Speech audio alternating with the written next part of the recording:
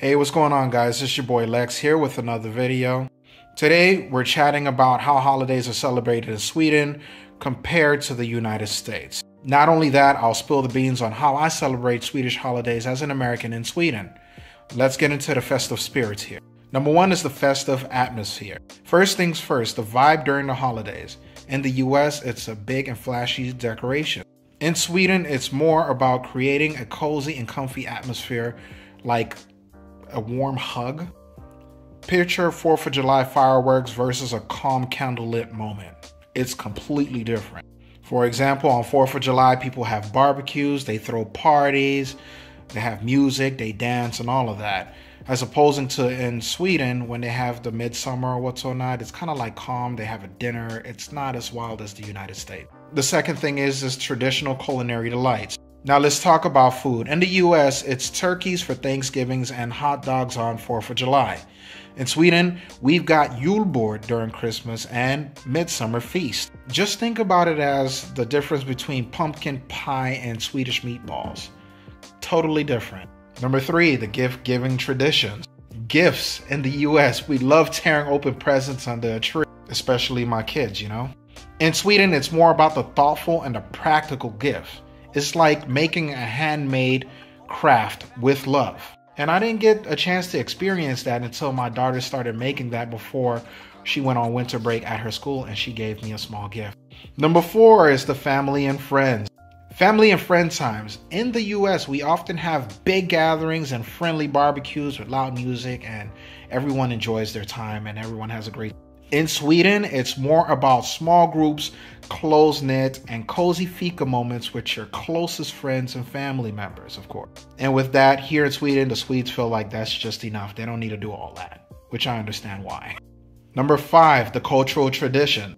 From parades and fireworks in the US to dancing around maypole during midsummer in Sweden, these are traditionals that tell stories about each other's culture. For example, when I first moved here to Sweden, I just found it to be weird a bunch of people dancing around a pole. I was like, the last time I seen someone do that was at a strip club.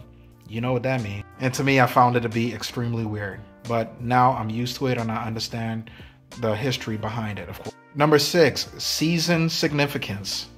Seasons play a role too. US holidays often match the seasons, for example, snowy Christmas and sunny 4th of July's, etc.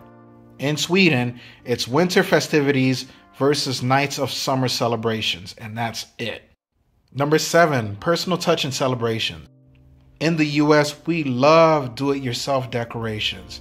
In Sweden, it's all about creating a warm atmosphere, often with handmade elements, such as painting a pine cone and using it to hang on your Christmas tree, etc. And don't ask me why my daughter did this in her school and brought it home and I had to hang it on a tree. Number eight, reflecting on traditions. Both countries love creating lasting memories during holidays, whether it's singing carols in the US or enjoying serene Swedish candlelit processions. Just picture yourself singing jingle bells with your American friends and savoring the tranquil Lucia celebrations in Sweden. Completely big difference. Last but not least, number nine, cultural appreciation. At the end of it all, I came to realize it's all about appreciating each other's cultures. Americans embracing Swedish holidays and Swedes joining on Americans' festivities. It's a mix of joy and diversity. Imagine learning to dance around the maypole in Sweden, even though I'm not a stripper, and then introducing your Swedish friends to the joy of Thanksgiving. There you have it. It's simple chat about Swedish holidays versus American holidays. If you like this festive talk, give it a thumbs up and subscribe for more holiday fun and share your own traditions in the comments below. Until next time, happy holidays and hej då, which is bye in Swedish. Until next time, peace.